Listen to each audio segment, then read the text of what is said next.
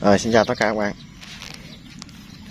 Hôm nay là tống thân cho dưa nha các bạn.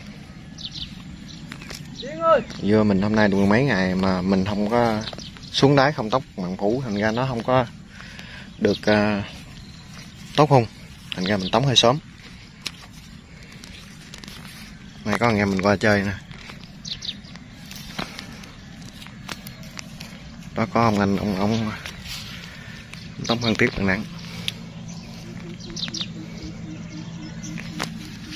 bên kia thì à, có nhân công làm cho ông anh giàu mình nhiều quá. Hôm nay cũng nhiều người năm sáu người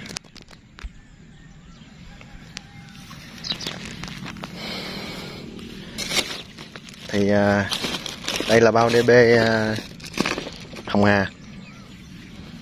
Thì mình thường xài cái loại này với ờ, uh, DB Phú Mỹ với kali miễn.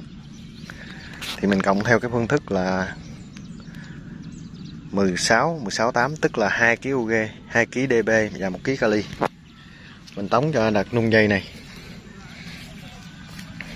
Thì hôm nay à, như mình được 10 à, 15 ngày các bạn? 15 ngày. Thì theo cái um, cái chương trình à, của mình trồng là mình sợ bọ chỉ rồi mình xuống coi nó có dính bọ chỉ không. Nếu dính bọ chỉ thì à, mình không có chăm sóc thêm.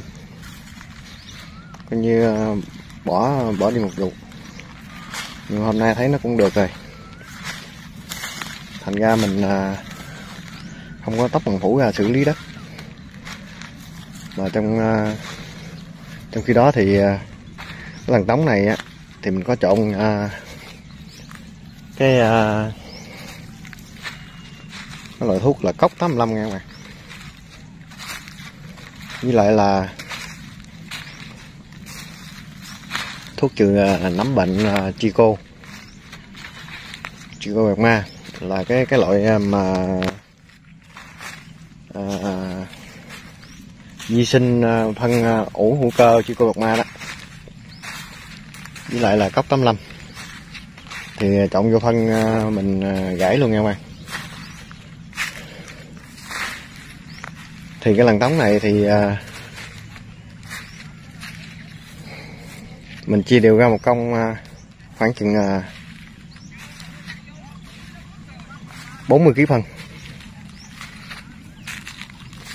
Cái hỗn hợp mình à, chọn nè.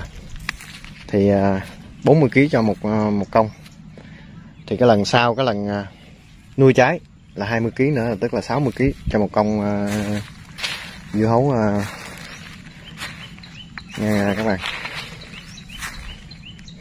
Thì hôm nay mình cũng có dịp tống phân. Thì mình chia sẻ lên cái cử phân tống mình cho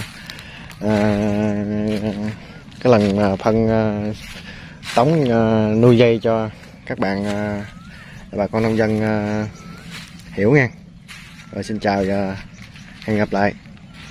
Bà con thấy cái chương trình của mình hay, cứ áp dụng. Rồi là thấy kênh hay, đăng ký và nhấn chuông thông báo để có những video mới nhất nha các bạn.